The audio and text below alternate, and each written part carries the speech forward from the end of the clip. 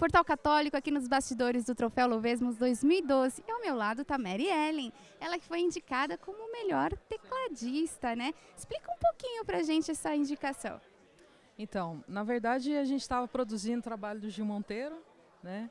E lá fomos gravando, produzindo, gravando ao longo de um ano. Foi um trabalho muito gratificante. O Gil foi, assim, muito inspirado mesmo por Deus, sempre é, né?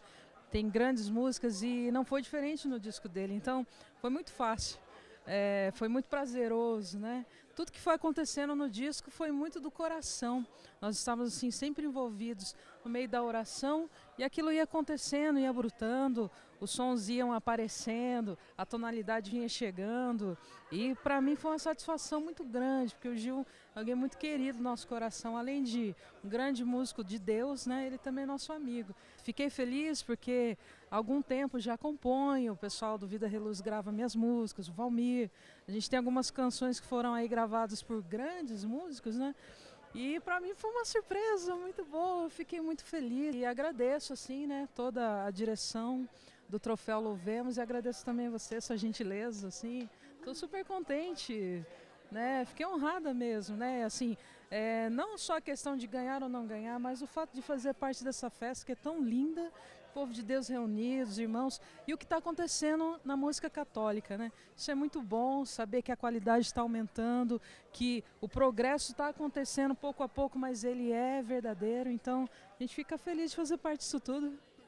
É o Portal Católico que agradece a sua gentileza, a sua doação, porque precisamos de pessoas assim firmes, que se dediquem mesmo e que promovam a música católica, né? Assim como a TV Século XXI, como é que, como é que fica a emoção, assim, é, essa visão de você ver a TV Século XXI promovendo os, os instrumentistas, promovendo arranjadores, como é que é a, a sua visão? Eu sinto que é um grande incentivo, porque quando você faz algo e que ninguém percebe, você fica assim, bom. Mas quando existe toda essa dedicação, esse olhar clínico em cima, eu acredito que todo mundo fica mais disposto até buscar novas ideias, novos sons, novas direções, né? Então o mercado fonográfico ele é muito voraz, né? E a igreja tem crescido muito nesse sentido. Então, para mim, como produtora, sinto que é um grande momento, é um grande avanço e fico feliz, repito, né, sem querer ser redundante, mas fico honrada mesmo de fazer parte desse momento da igreja que é tão lindo, né, que cresce em santidade, que cresce em qualidade, que cresce na humildade, que cresce na, uni na unidade. E dou os parabéns né, à TV Século XXI por ser tão vanguardista nesse anseio de levar realmente o novo, o belo, tudo que, tudo que reflete a grandeza de Deus e a música é uma delas.